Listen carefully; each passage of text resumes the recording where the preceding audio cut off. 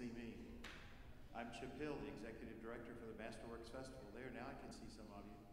Um, these are, this is the concerto competition finals. The judges will deliberate tonight after the last contestant, and the results will be announced tomorrow, probably during announcement time uh, after lunch.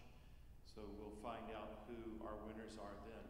You'll notice that this is a fairly long program tonight and there's no intermission that's actually built in. So I would just ask that if you need to uh, get up and go to the restroom, to please wait until between pieces to do so.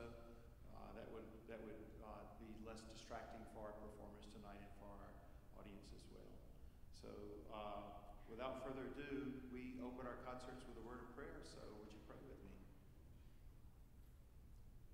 Lord, we just thank you for this day, and we thank you for the gift of music. We ask that you would be with each performer tonight as they uh, offer this gift to you and to our audience. And Lord, just give us all a time of rejoicing with the music, audience and participants and judges. Be with the judges tonight and uh, help them to make just uh, good decisions and give them ears to hear.